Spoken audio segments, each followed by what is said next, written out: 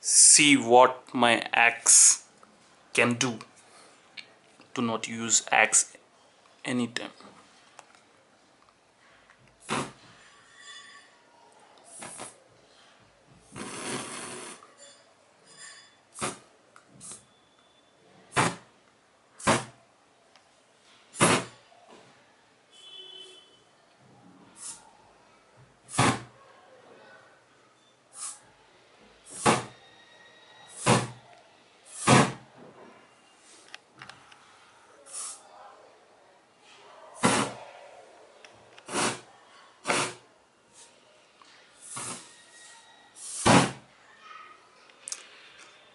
this is why I don't use axe